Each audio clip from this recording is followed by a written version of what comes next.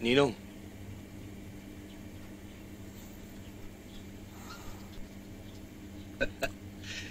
Amoy pampam ka pa, anak, ah. Sino na naman bang mumura yung babae ang kinanamo kagabi? Boss, matagal ko na yung sinasabi sa'yo. Pamburikak lang ang inaanak mo.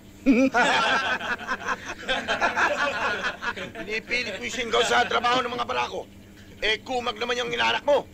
Ang lahat ng tao, Bogi, nagmumula sa maliit. At itong inaanak ko, balang araw, magiging malaki. Mas malaki sa'yo. Anak, kaya kita ipinatawag, may patatrabaho ko sa'yo. Merong isang club na pag-aari ng isang ihudiputang ang pangalan ay Agapito. Ayaw nang magbigay ng tarantadong yon. Magmula na magkaroon ng patong sa mga pulis. Malaking kwarta rin yun na ayokong mawala sa atin.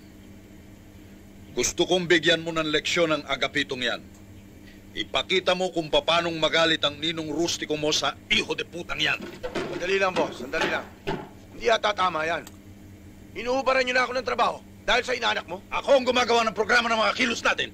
Kung ano ang sabihin ko, yun ang gagawin nyo. ah, Ninong, kakausapin ko lang ho itong baso sa to, ah. Sandali lang. Mukha yatang minamaliit mo ako, Bugi, ah. Kung may bayag ka, may bayag din ako. Alam ko marami ka nang napatay. Pero ito lang sasabihin ko sa'yo.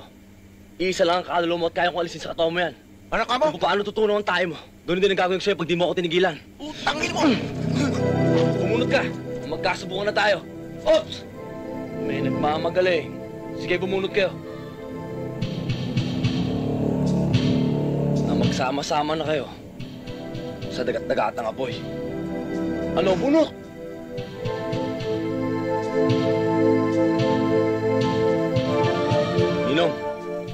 Pinagagawa mo sa akin, aayusin ko na. Sige ho, Ninong. Aalis na ho kami. Tara na.